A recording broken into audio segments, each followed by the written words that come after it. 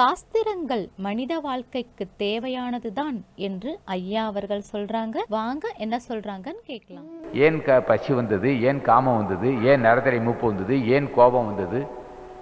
என்ன ஏன் நோய் வந்தது? என்ன காரணம்? அதுக்கு என்ன விளக்கம்? இதெல்லாம் அறிந்து கொள்வது அறிந்து அறிந்து விடுபடுவது தான் சாத்திரம். அதுக்கு வழிகிறது சொல்லும். இப்போ உடம்பை மனிதனை மையமாக கொண்டதான் வேதங்களும். ஆறு சாஸ்திரங்களும் அறுபத்தி நாலு கலைகளும் மனிதனை மையமாக கொண்டது தான் எந்த மிருகத்துக்கும் ஞானிகள் எழுத மாட்டார்கள். இப்போ மனித வாழ்க்கைக்கு தேவையானது தான் அந்த சாஸ்திரம். இப்போ திருவாசகம் தோத்திரம் கடவுள் ஒருத்தன் இருக்கிறான். கடவுளை புகுந்து பாடுதல். பாடுவதால் ஆசி பெறலாம். கேட்பவருக்கும் மகிழ்ச்சியாக இருக்கும் பாடுவருக்கும் மகிழ்ச்சியாக இருக்கும். அவர் தோத்திர பாடல். மற்ற வல்லு திருக்குறள் சாத்திரம் அல்லது வேதம். அல்லது அறிவுரை நூல் அப்படின்னு சொல்லுவான் அப்போ அந்த அறிவுரை நூலை நாம் படிக்கிறோம். அன்பர்கள் படிக்கிறார்கள். திரும திருவாசகத்தில் நுட்பமான கருத்து இருக்கும் சிவ இதில் இதில். இது நம்ம சிவபுராணத்தில். முன்னமே சொல்லியிருக்கிறேன். புல்லாய் பூடாய் புழுவாய் மரமாகி பல்விருகமாகி பறவையாய் பாம்பாய் கல்லாய் மனிதராய் பேயாய் கணங்களாய் வல்லசுரராய் முனிவராய் தேவராய் செல்லா நின்ற தாவர சங்கமுத்துள் எல்லா பிறப்பும் பிறந்திழைத்தேன் என்றார். அதுக்கு நான் விளக்கம் சொல்லியிருக்கிறேன். பிறந்திழைத்தேன் எம்பெருமானார். எல்லா பிறவையும் மனிதன் எடுத்திருக்கிறான். மனிதன்தான் மரமாக இருப்பான்.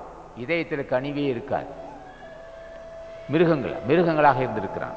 மனிதன் தான் ஆனால் மிருக குணங்கள் இருக்கும். முதலையாக இருப்பான். கழுவு நிமிடம் நழுவுமனு சொல்லுவான். அப்படி சில பேர் இருப்பார் ஆக மனிதன் மனிதனாக இருப்பது ஒரு சிலர் ஒரு சந்த பல ஜென்மங்கள் கடந்து தான் எல்லா பிறப்பும் பிறந்து இழைத்தேன் அல்லல் பட்டு இழைத்தேன் அப்படின்னா ரொம்ப இழைச்சி போயிட்டேனா இப்படி பிறவி எடுத்துன்னு சொல்வார்.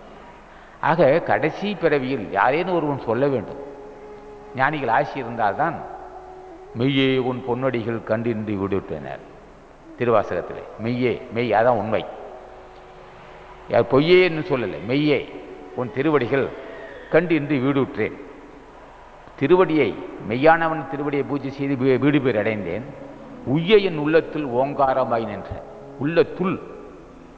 இது பெரிய வார்த்தை. பார்த்தா பாடல் இன்னும் ஜாடுற மாதிரி தெரியும்.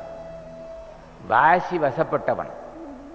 இடங்களையும் பெண்களையும் புருவத்தை செலுத்தி வைத்தால் அது அது என்ன செய்யும் அந்த காற்று? புறமத்தைக்கும் மூலாதாரத்துக்கும் மயிரடை போன்ற நரம்பு இருக்கு. அது பெரும நாடி ஈஸ்வர நாடின்னு சொல்லுவான். அந்த நாடியை பொறுத்து அவ்வையாரும் சொல்லுவார். எழுபத்தி ஈராயிரம் நாடி அவற்றுள் முழுபத்து நாடி முதல்னா. எழுபத்தி ஈராயிரம் நாடி நரம்பு கொண்டு அது முக்கியமான நாடி பத்து நாடிம்பார்.